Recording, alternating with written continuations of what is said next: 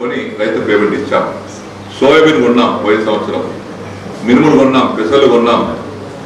అన్ని వస్తువులు అన్ని ధాన్యాలు కొనుక్కొని రైతుకు అండగా నిలబడ్డాం. ఇంత పెద్ద ఎత్తున ధాన్యం కొనుగోలు కానీ ఇటు ఇతర వస్తువులు కొనుగోలు చేసేటువంటి రాష్ట్రం ఏకైక రాష్ట్రం తెలంగాణ రాష్ట్రమే. మహారాష్ట్ర కూడా కొంతమంది ఇక్కడ వచ్చి అమ్ముకునే ప్రయత్నం చేశారు. ఎందుకు అమ్ముకు ఎందుకు వస్తున్నారంటే మా రాష్ట్రంలో కొనుగోలు కేంద్రాలు లేవు సార్.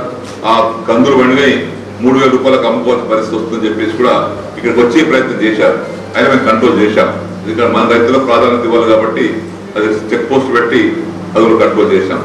కాబట్టి ఈ సంవత్సరం రైతాంగం మంచి పంట వస్తువులు ఆశిస్తా ఉన్నాం. నిజాం రాయకట్ట ఆయకట్ట కింద కూడా ఇప్పుడు నీళ్ళు వదిలా. నీరు రొటేషన్ జరుగుతూ ఉంది. ఇంకో వన్ వీక్ తర్వాత వన్ వీక్ క్లోజ్ చేసి మళ్ళొక రొటేషన్ మళ్ళొక టెన్ డేస్ ఇస్తాం. అవసరం మేరకు ముఖ్యమంత్రి గారు అనుమతి ఇచ్చి నిజాం సార్ ఓపెన్ చేయించాం ఇదివరకు నిజాం సాగర్ ఓపెన్ చేపించాలంటే ఉత్తరాలు రాసి జిల్లా కేంద్రం నుంచి ఇరిగేషన్ డిపార్ట్మెంట్ పోయి ఇరిగేషన్ డిపార్ట్మెంట్ నుంచి ఇరిగేషన్ ప్రిన్సిపల్ సెక్రటరీ పోయి ఇరిగేషన్ మంత్రి నుంచి మంత్రి ముఖ్యమంత్రి గారికి పోతే పుణ్యకాలం అంతా అయిపోయింది. కానీ గౌరవ ముఖ్యమంత్రి గారు అడగగానే ఇమీడియట్గా అధికారులకు ఆదేశాలు ఇచ్చారు ఓపెన్ చేయమని. వెంటనే ఓపెన్ చేసి రైతులకు పంట ఎండిపోకుండా నీటిని వదిలాము మేము. దాని తర్వాత అవసరాన్ని బట్టి ఈ రెండు రొటేషన్లు అయిన తర్వాత కూడా ఇంకా నిజాం సాగర్కి దాయకట్టుకి ఏమన్నా నీరు అవసరం అనుకుంటే కూడా సింగూరు నీళ్ళు కూడా మాకు ఇస్తామని చెప్పేసి కూడా ముఖ్యమంత్రి ఆపించారు.